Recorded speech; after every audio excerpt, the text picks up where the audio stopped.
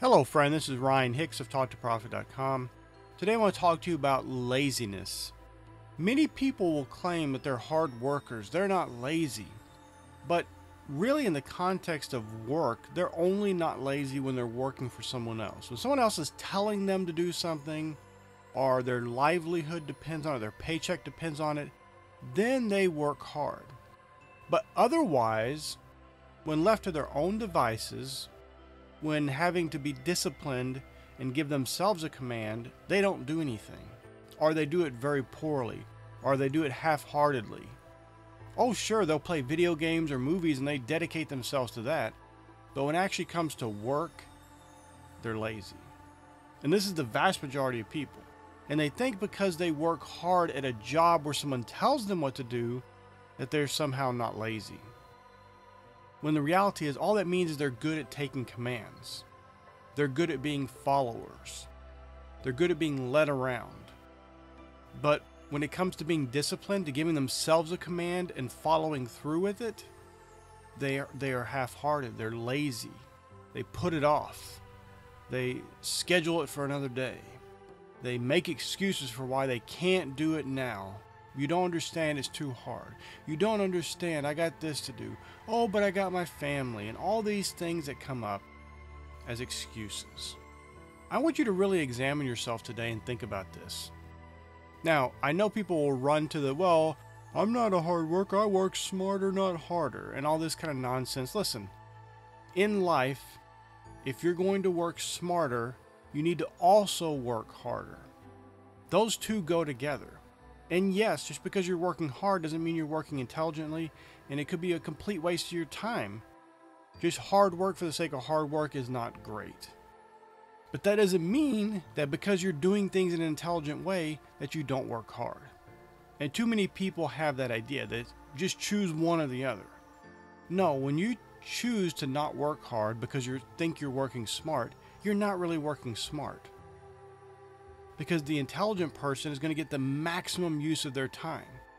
So if they have ways of doing things faster and more efficiently or having other people do it for them that are good at it, that's their skill, so they can focus on the things they're good at, they're going to do it and they're going to work hard at whatever they do. But this is one of those things that I think is part character, it's a character trait, and it's part skill. I think you can learn to be a hard worker, to be disciplined. Meaning, not just when somebody's telling you to do something, but on your own, you can make yourself do things and make yourself work hard and become disciplined. Where you listen to yourself and you do things because they need to be done, not because someone has to yell at you or command you to do it or has to pay you to do it, but you'll just do it because you need to do it and especially if you're going to be an entrepreneur, you have to be disciplined and you have to work hard. It's very rare that an entrepreneur just magically has a bunch of employees pop out of nowhere and do everything for them. Most of them have to do everything at first. They have to work hard, long hours. Yes, they work intelligently as much as they can, but oftentimes they don't even have the money to do things as smart as possible because they can't afford the automation or the employees or the systems, so they have to do it all on their own. If you're going to get anywhere in life, you have to be disciplined. You cannot be lazy. And don't tell yourself and pat yourself on the back because you worked eight hours because someone told you to do certain things and you did them that you're a hard worker. That's your bare minimum. Really look and reflect on your life. Does your life reflect that of a person who is disciplined, of a person who is really a hard worker? Or is it only at the workplace that you become that hard worker? But in real life, when you're not being told to do something, when you're not being paid, all that hard work and, and bluster about being such a hard worker goes by the wayside. Work is not bad, work is ennobling. Hard work is ennobling. These aren't bad things. Stop looking at work as something bad. Maybe your work is something bad, but that's not because work itself is bad.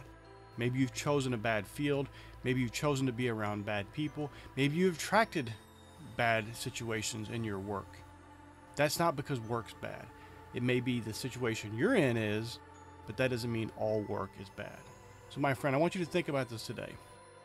Think about your discipline. Think about the situation you're in. Maybe you need to make a change. But do realize that work is ennobling, hard work is ennobling, and you need to continue each and every day paying that success tax that is due each and every day. And keep yourself on that path toward great success, happiness, and wealth. My friend, I pray this is a blessing for you. May God bless you richly.